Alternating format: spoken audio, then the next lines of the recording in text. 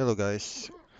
Uh, I apologize for um, not uploading any content. I was on vacation, so I was not able, you know, to do from there. I did some uh, content on schedule, you know, but uh, yeah. So now you will have your Quake games back online pretty soon. Uh, but when I got back home, I I couldn't believe my eyes. Uh, there is a rumor, you know, of uh, Quake reboot, and yeah, uh, it, seems like uh, id Software is working on a new Quake reboot with uh, with uh, MachineGames. Uh, MachineGames are helping them develop the game, and this the company is known, you know, for making uh, Wolfenstein, and Wolfenstein was a huge success always. So, you know, those two companies working together, that's that's that's that's uh, really great news.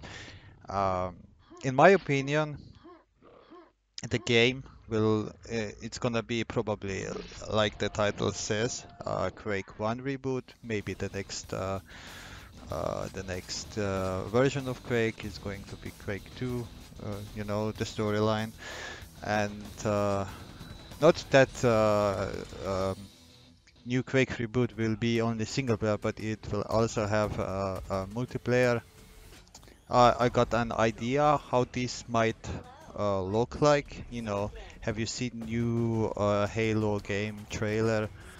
Uh, they are still using, you know, classical capture the flag. You know, uh, since today is uh, the open world is actually, you know, something that our game is uh, looking forward. So I think in uh, new Quake reboot multiplayer, it's gonna be kind of open world, but uh, there will be team modes, you know, like having captured the flag, uh, maybe something like an Unreal Tournament Assault or maybe classical team that deathmatch. Maybe we will have deathmatch, but I doubt we will see duels. I would like also, uh, you know, to know your opinion about the game. Uh, how do you think the game will look like, and if this rumor is real? Okay, guys, uh, this is all. Hopefully you enjoyed the video, and uh, see you in the next one, right?